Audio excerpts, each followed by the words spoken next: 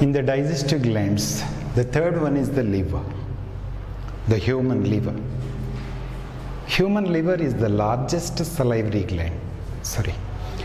Human liver is the largest gland in our body. Human liver is the largest gland in our body. After skin, this is the second largest organ. It is the heaviest internal organ in body. It's roughly around one and a half kg. In female, it is around 1200 to 1400 grams. In males, it is around 1400 to 1500 grams. So it's slightly bigger in case of human liver is slightly bigger in case of males when compared to females. Even lengthwise also in female it's around seven and a half centimeters.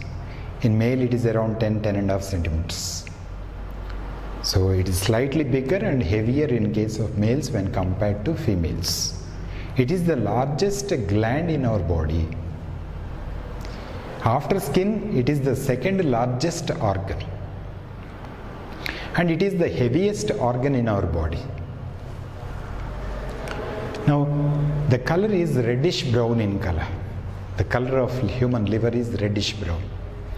It is present in the right upper quadrant of abdomen. See, this is the abdomen region, this is thorax, this is the abdomen. Hmm?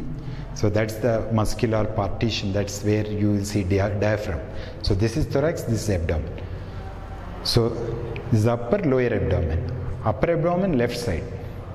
Upper left quadrant of abdomen you can see sorry. If this is the abdomen. The location of the liver. Liver is located in the right upper quadrant of abdomen. Liver is present in the right upper quadrant of abdomen. It is reddish brown in color. And if you see from the from the ventral view, from the ventral view, you will see two loops The left lobe, the right lobe.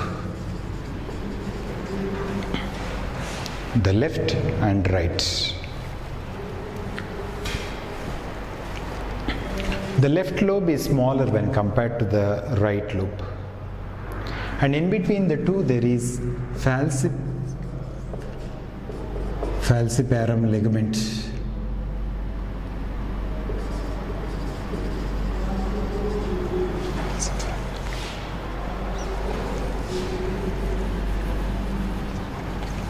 It is called falciform ligament. There is a ligament like structure which connects, it is a structural demarcation between the left and right lobes. Between the left lobe and right lobe, structural anatomical differentiation between the two lobes is by falciform ligament. It's a ligament which connects at the junction of the two lobes with the anterior abdominal wall. But when you see from the inferior side of liver, hmm, liver, liver, inferior view, you will find two more lobes. This is the left and this is the right lobe. As usual, you will see that two lobes. But we will also find quadrate lobe and caudate lobe. Quadrangular is quadrangular in shape. That's why it's called quadrate, quadrate lobe. Caudate towards the tail. It is present towards the back. That's why it's called caudate lobe. So there are actually four lobes, but only two lobes are visible from the ventral view. Inferiorly, two, two more smaller lobes are actually present. Now, if I take a cross section of liver, if I take one lobe and take cross section, I will find smaller lobules. They are called liver lobules.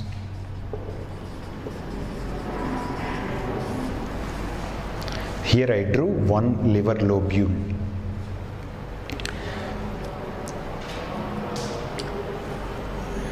Around 50,000 to 1 lakh liver lobules are present. Around 50,000 to 1 lakh liver lobules are present inside the liver. Now, each, each of the lobule is hexagonal. It's like honeycomb and it is hexagonal in shape. Such lobules are around 50,000 to 1 lakh lobules are present inside liver. Each of this lobule is covered by a Glisson's capsule, a connective tissue membrane which, which covers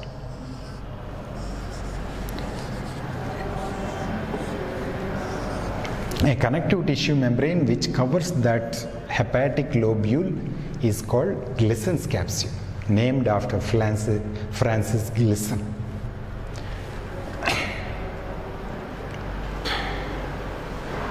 Liver lobules are structural and functional units of liver.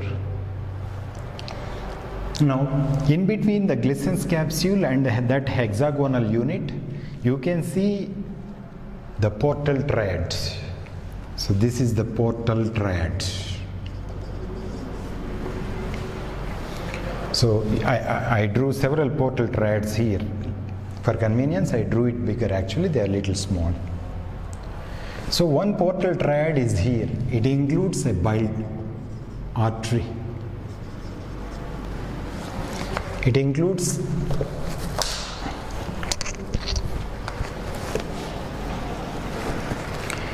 it includes a portal triad. I took a portal triad.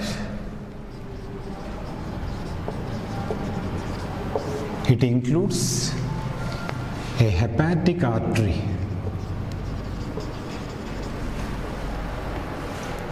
It also includes hepatic portal vein. నేను cut అయినా పర్లేదు ఇది ఇది cover అయితే సరిపోద్ది ఒక్కొక్కసారి cut అవుతుంది A portal triad includes hepatic artery, hepatic portal vein, and also includes a bile duct. So there are three things which are present in each of that portal triad. Now, if you observe inside, inside you will see several hepatic cords. A single row of hepatocytes is called hepatic cord. Liver cells, hepatic means liver. Cells present in liver is called, they are called as hepatic cords. So here I drew one hepatic cord here. So th- these are hepatocytes. Hepatocyte means liver cell. Actually, I drew it round, but actually, they are actually cuboidal. So, if you see that cells, they are cube like. Each hepatocyte is cube like. They are around 20 to 30 microns. I mean, one hepatocyte. They contain mitochondria, rough endoplasmic reticulum, ribosomes. Where there is more metabolic activity, there is more mitochondria, and where there is more protein synthesis, there are more of ribosomes there. And it also contains smooth endoplasmic reticulum, something which is uh, seen to a lesser extent in most of the cells in body. Smooth endoplasmic reticulum is abundantly present, indicating there is there is lipid synthesis, there is glycogen synthesis. Glycogen lipid storage is there inside the hepatocyte. And if you observe the nucleus, you can see anisokaryosis. You can see increase in the size of nucleus, indicating some cases there is tetraploidy, there is polyploidy conditions do exist. In some cases, there is the nucleus is also binucleate. The average lifespan of the liver cell is around five months, and they are effectively replaced. So this is one hepatic cord, this is another hepatic cord. So this is one hepatic cord. This, is one hepatic cord. This is another hepatic cord. A, a double row of hepatic cords is called as hepatic plate.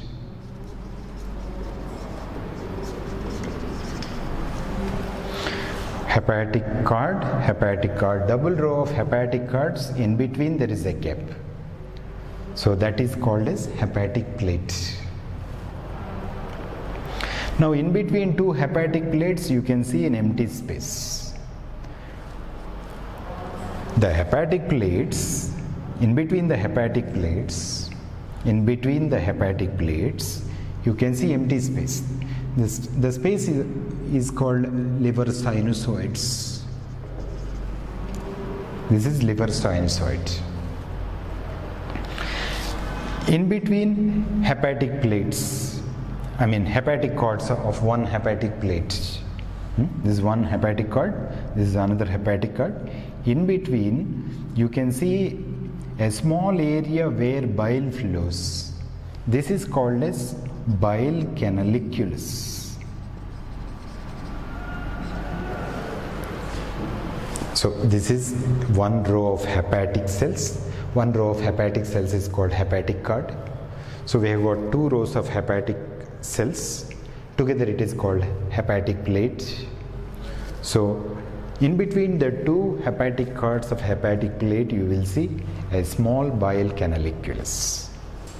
And in between two hepatic plates, this is one hepatic plate, this is another hepatic plate. In between there is a gap. The gap is filled with blood and that empty space are called as liver sinusoids. Now, into this blood, see if you see the direction of blood flow, the direction of blood flow, see hepatic artery, hepatic portal vein. Two blood vessels are bringing in blood here. These two, the hepatic artery, the hepatic portal vein, they are bringing blood into sinusoids. The hepatic artery, hepatic artery is a branch of systemic arch. It's a branch of systemic arch. It is bringing oxygenated blood. Hepatic portal vein, it starts from stomach, intestine, spleen, pancreas. It is coming from stomach. A part of that is coming from stomach as well. Spleen, pancreas, and majoritarily from intestine. Hepatic portal vein, it starts as capillaries, ends as capillaries. Particularly from intestine, it ends in liver. It is bringing deoxygenated blood. It is bringing deoxygenated blood but brings in nutrients. So both these are entering into liver sinusoids. From liver sinusoids, blood will enter into central vein. Central vein is present at the center here. This is the central vein location. You can see these liver sinusoids are here. These are sinusoids. In between hepatic cords, there are liver sinusoids. And at the center, there is central vein. Now, blood flow, we are discussing blood flow, hepatic artery, hepatic portal vein.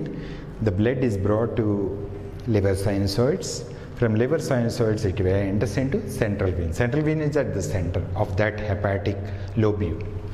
From central vein, blood is taken out by hepatic vein. Hepatic vein becomes a branch of postcaval vein. So, this is taking out the deoxygenated blood, the wastes coming from the blood collected from the liver or collected from central vein into hepatic vein and it becomes part of postcaval vein. So that's how blood is removed. Now surrounding these liver sinusoids there are Kupffer cells. Those cells are called as Kupffer cells. Surrounding the liver sinusoids there are Kupffer cells. Kupffer cells are nothing but MNPs. Monocytes of blood when they go to other tissues they are called as MNPs mononuclear phagocytes. Mononuclear phagocytes. And they are capable of phagocytosis. So they are present surrounding the liver sinusoids. They present the capable of phagocytosis.